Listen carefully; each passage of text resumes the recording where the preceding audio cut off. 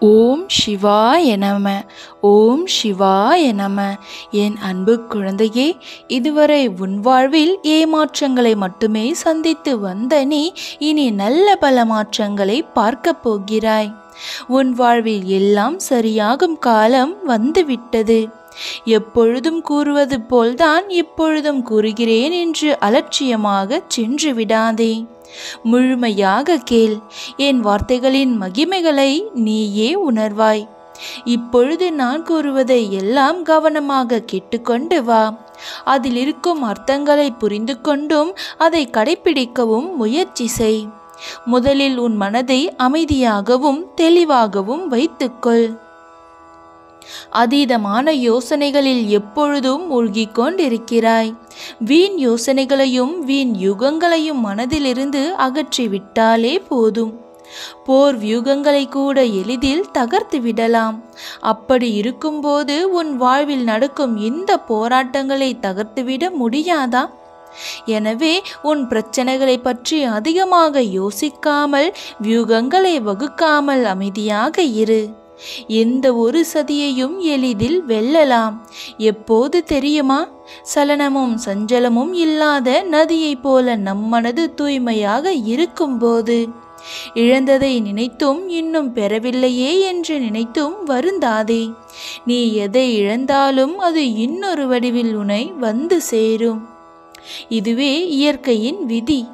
இப்போதுள்ள உன் பிரச்சனைகளை எல்லாம் மறந்துவிட்டு உன் கவலைகளை எல்லாம் கலைந்துவிட்டு இறைவனை அடையும் வழியை மட்டும் பார்.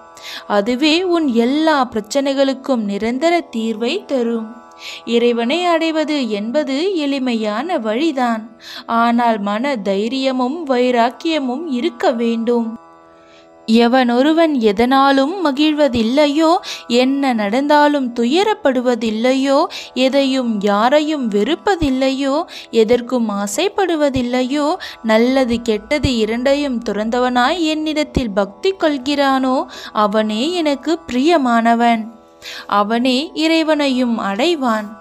எவருடைய பாவங்கள் அழிந்து விட்டனவோ எவருடைய ஐயங்கள் தெளிவாக்கப்பட்டதோ எவர் அனைத்து உயிரினங்களின் நலனிலும் ஈடுபாடு கொண்டவரோ எவருடைய மனம் சஞ்சலம் நீங்கியதோ அவரே இறைவனை அடைவார். சந்தேகத்திற்கு இடமில்லாமல் கூற வேண்டுமெனில் மனம் என்பது சஞ்சலமானதுதான் வசப்படுத்துவதும் கடினம்தான். ஆனால் பயிற்சியினாலும் வைராகியத்தாலும் அதை வசப்படுத்தலாம். அதை நீ வசப்படுத்தும் போதே இறைவனை நீ காண முடியும். நீ இருக்கும் பிரச்சனைகளையெல்லாம் மறந்துவிட்டு இறைவனை பற்றிக்கொள். இறை வழியில் உன் பயணத்தை துவக்கு. எந்த மனது நல்லது நினைக்கிறதோ அந்த மனதிற்கு நல்லதே நடக்கும். எந்த மனிதன் மற்றவர்களும் நன்றாக இருக்க வேண்டும் என்று நினைக்கிறானோ அந்த மனிதன் நன்றாகவே இருப்பான். இதுவே ஆத்ம வாழ்வின் இயல்பு. இப்போது நான் கூறிய இந்த மாற்றங்கள் எல்லாம் மனதிற்குள் நீ கொண்டு வா. இறை வழியில் செல். அப்பொழுது இதுவரை ஏமாற்றங்களை மட்டுமே பார்த்த உன் மனது நல்ல மாற்றங்களை பார்க்கும். மனம் நிறைவாக உணரும். உன்னுள் இந்த மாற்றங்கள் வர துவங்கிவிட்டாலே உன் வாழ்க்கையில் நல்ல மாற்றங்கள் வர துவங்கும். அந்த நல்ல மாற்றங்களை எல்லாம் நீ உணரவும் துவங்குவாய். இறைவனை பற்றி கொண்டு இறை வழியில் செல்லும்போது எந்த ஏமாற்றங்களும் உன்னை நெருங்காது.